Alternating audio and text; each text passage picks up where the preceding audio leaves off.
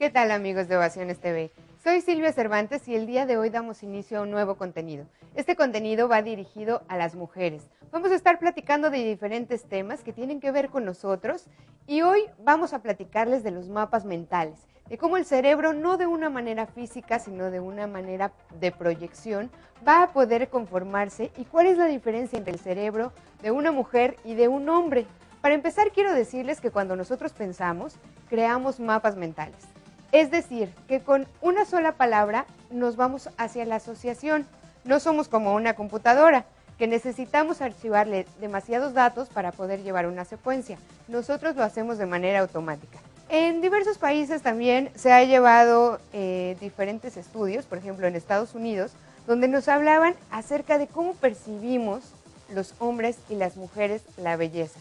Es decir, vamos a tener dos partes del cerebro. Los hombres van a manejar más el lado derecho y las mujeres vamos a manejar ambos lados. Esto quiere decir que para los hombres la belleza se va a reflejar solamente en una parte del hemisferio del cerebro, mientras que las mujeres vamos a poder captar desde dos perspectivas diferentes qué tipo de belleza vamos a tener. Y hablan estudios realizados sobre la memoria. ¿Qué tiene que ver esto? Bueno, cuando nosotros empezamos a crear mapas mentales, la memoria nos va a ayudar a que nosotros podamos eh, tener sincronía con las neuronas y que nosotras las mujeres tengamos posibilidad de estar pensando en muchas cosas a la vez, cosa que ya sabemos los hombres tienen deficiencia en ello. Sin embargo, esto no quiere decir que ellos no puedan tener el manejo o control sobre otras habilidades, porque ahí se va a, a definir qué tipo o qué lado del cerebro utilizan más unos que otros.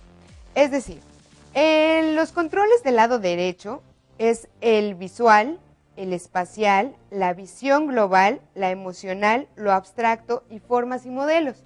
Por eso ustedes recordarán que a la hora de estacionarnos, bueno, pues a las mujeres nos cuesta más trabajo que a los hombres, porque ellos manejan más el lado derecho del cerebro, que es lo que controla lo visual y lo espacial. Los controles izquierdos tiene el verbal, el lingüístico, los detalles, las prácticas y los conceptos concretos. Por eso las mujeres tenemos facilidad de palabra y también dicen que nos encanta el chisme. Eso ya es un plus hacia lo que vamos a, tener. Bueno, a la hora de conjuntar eh, estas dos partes del cerebro, las mujeres tenemos posibilidad, como ya lo había mencionado, de poder hacer varias cosas a la vez. Sin embargo, los hombres son especialistas en cada uno de sus procesos. En procesos tan concretos como los numéricos, por ejemplo, ellos tienen posibilidad de manejarlo a la perfección. Sin embargo, nosotros no tenemos aún ese detalle porque no manejamos especialidad en cada uno de, estas formas.